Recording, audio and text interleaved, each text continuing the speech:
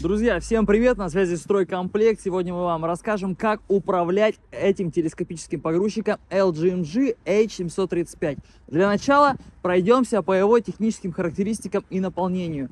Под вот таким большим капотом у нас находится дизельный двигатель Кубота. Обратите внимание на широкое пространство для быстрого и удобного сервисного обслуживания. Следом идет гидравлический насос, который передает поток гидравлики на гидромоторы. То есть здесь гидростатическая трансмиссия.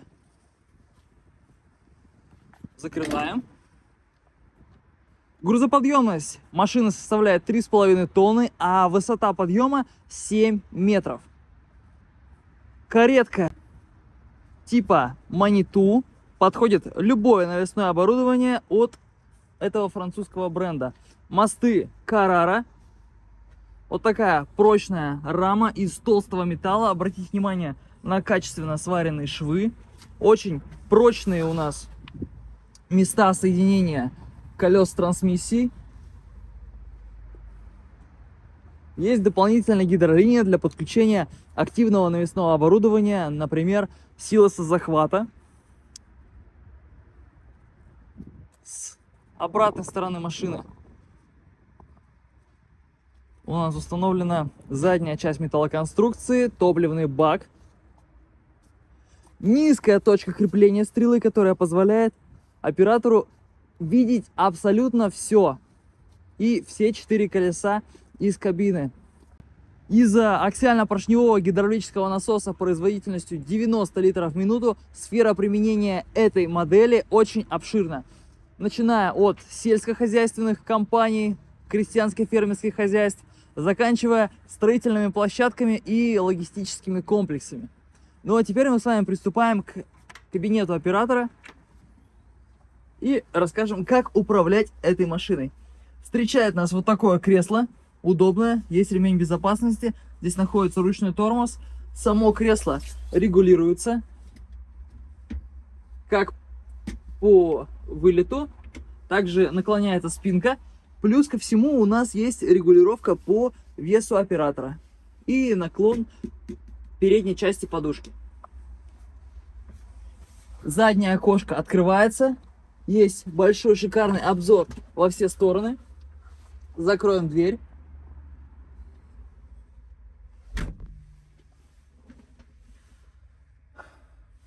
Спереди установлено рулевое колесо удобной формы, яркого цвета. Справа управление светом и омывателями. Слева управление переключением передач. Первая и вторая. Здесь двухступенчатая гидростатическая трансмиссия. Правее многофункциональный джойстик, про него чуть позже. Есть кнопка аварийной остановки двигателя для безопасности. Здесь же у нас слева панель управления климатической системой на машине в базовой комплектации установлен кондиционер. А чуть ниже мы видим кнопки управления рабочим освещением. Передняя это у нас ближний свет транспортный, омыватели, габариты, ну то есть ходовые огни. И управление боковым, значит, дворником. А ниже управление задним дворником на заднем стекле большое количество дефлекторов воздуха во все стороны для того, чтобы оператору было комфортно и зимой, и летом. Сверху есть две шторки для защиты от солнца. Это у нас нижняя. И также есть верхняя. Плюс есть лампочка освещения и удобные крючки для того, чтобы вешать одежду. Запуск мотора происходит вот с таких вот фирменных оригинальных ключей. Запускаем мотор. Отлично, запустили мотор. Спереди у нас находится большая информативная панель приборов, сенсорная. Есть также дублирование с помощью кнопок. Для максимальной индикации всех положений машины. Есть угол наклона стрелы, есть высота подъема стрелы, есть у нас длина, то есть вылет ее от э, платформы машины. Различные показатели оборотов, скорости, топлива, наработки часов, трансмиссия и прочих датчиков двигателя, плюс еще есть положение разных видов управления. К ним сейчас вернемся. На машине установлено три вида рулевого управления, такое как только передние колеса, установлено в данный момент, нужно оно для транспортировки, управляются и поворачивают только передние колеса. Таким образом, машина ведет себя стабильно на высокой скорости, на транспортной скорости. Второй режим управления это след в след, когда или колея в колею, когда передние колеса поворачивают, а задние ровно повторяют их по своей траектории. Таким образом, мы увеличиваем маневренность машины. Обычно работают на таком режиме. И третий режим это крабовый ход. Колеса одновременно поворачивают в одну и ту же сторону. Таким образом, машина двигается наискосок, боком. Следующий переключатель это управление рабочими режимами. Их здесь три. Первый для работы с тяжелыми весами, то есть стрела себя ведет достаточно медленно, плавно и аккуратно. Второй режим это быстрый. Стрела ведет себя быстрее, а следующий это супер быстрый, когда нужна максимальная производительность и скорость. Каждый из этих режимов можно программно настроить по своей работе, по скорости, по плавности. То есть машина очень кастомизируется под желание любого и каждого оператора. Управление самим рабочим оборудованием происходит с помощью вот такого эргономичного джойстика. Есть система безопасности. Спустя условно 5 секунд бездействия гидравлика блокируется остается только ход. Для того, чтобы разблокировать ее, нам нужно на полторы секунды зажать красную кнопку под большим правым пальцем. Происходит звуковой сигнал, и мы можем уже работать стрелой. Для подъема телескопической стрелы мы джойстик передвигаем на себя. Для того, чтобы стрелу опустить, мы джойстик толкаем вперед.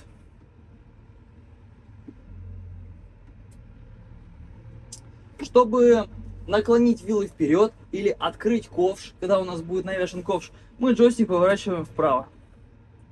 Чтобы закрыть ковш или поднять вилы, мы джойстик наклоняем влево.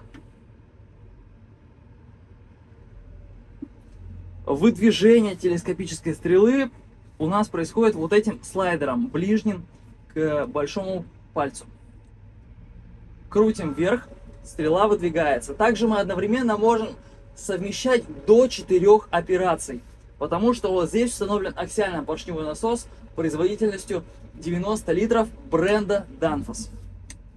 Этого же бренда здесь установлен и гидромотор хода. Следующий слайдер отвечает за дополнительную гидролинию когда мы подключаем какое-нибудь навесное оборудование с дополнительным гидроцилиндром и управлением. Например, сенозахват или гидравлическую щетку.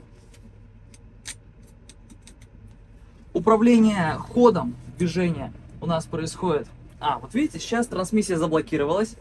После бездействия нескольких секунд мы опять активируем. Происходит звуковой сигнал. И чтобы убрать стрелу, мы слайдер двигаем вниз. Стрела закрывается. А обратите внимание, как мягко. То есть здесь есть демпфер складывания гидроцилиндров.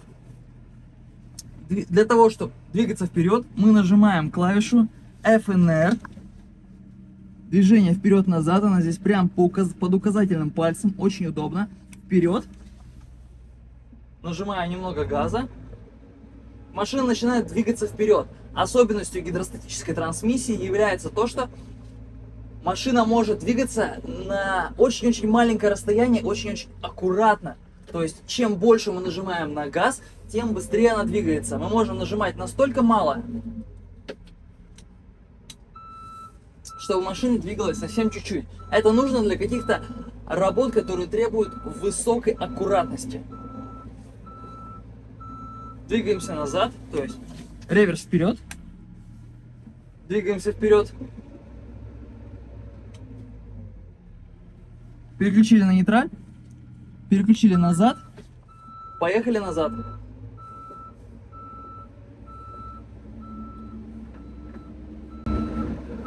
Сейчас мы двигаемся на рабочей скорости на первой.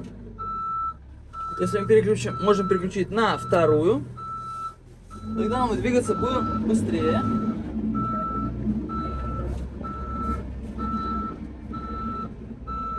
Тормозим. Нажимаем движение вперед. Нажимаем на газ.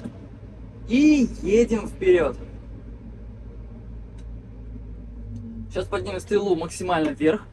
Активируем при помощи кнопки. Одновременно поднимаем стрелу и выдвигаем телескопическую стрелу.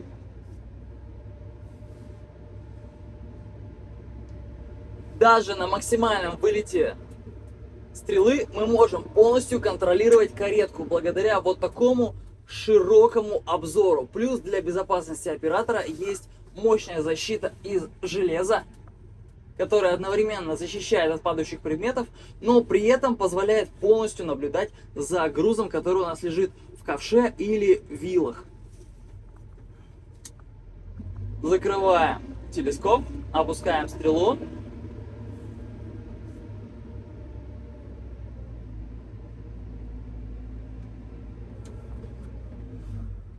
Для удобства и безопасности работы здесь есть датчики перегруза. Главный индикатор его находится вот здесь, прямо на уровне глаз оператора. В данном случае у нас показывает полностью безопасную работу, то есть у нас не находится никакого веса на вилах.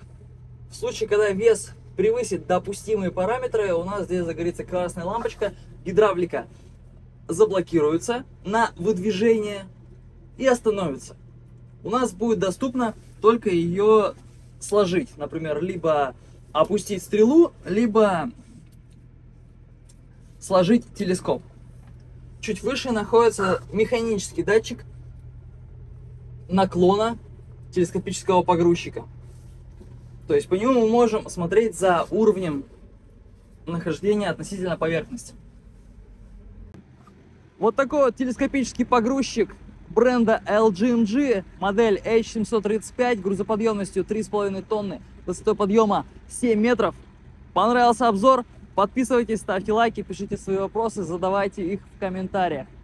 Всем спасибо за просмотр. До новых встреч! Наши клиенты уверены в бесперебойной работе своей техники в любых климатических условиях, от юга до крайнего севера, так как все машины проходят полную проверку перед продажей.